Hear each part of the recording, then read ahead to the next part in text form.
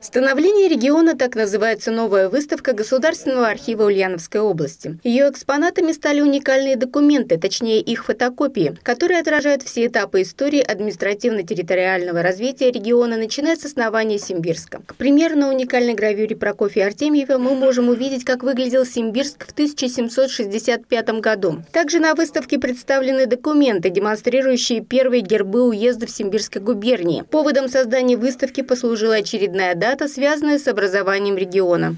В январе мы традиционно в День Крещения Господня отмечаем еще один свой региональный праздник 73-го нашего региона. Это день образования Ульяновской области.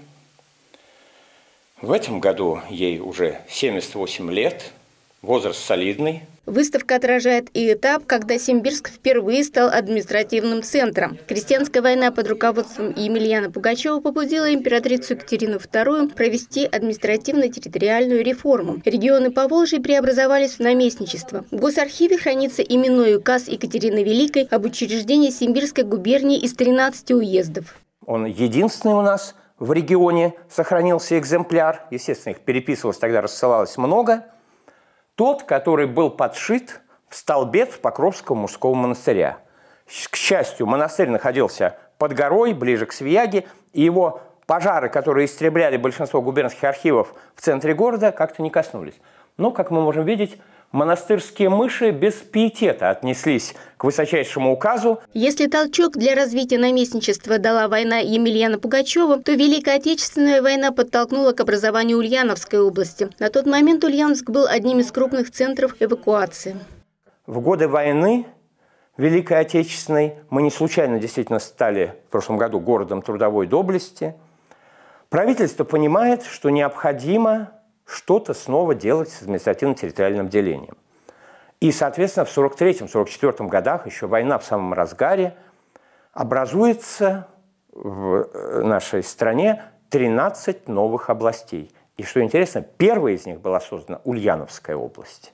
Только Госархив сохранил единственный экземпляр указа Президиума Верховного Совета СССР об образовании Ульяновской области в составе РСФСР. В нем подробно расписано, какие районы входят в нее. Их на тот момент было 26. Архивист специально для нас продемонстрировал подлинник документа. И трудно сказать, почему именно 19 января. Но если так немножко проводить параллели, можно вспомнить, что, опять же, это крещение, а на тот момент – руководство Русской Православной Церкви в лице местоблюстителя Сергия находилось именно в Ульяновске.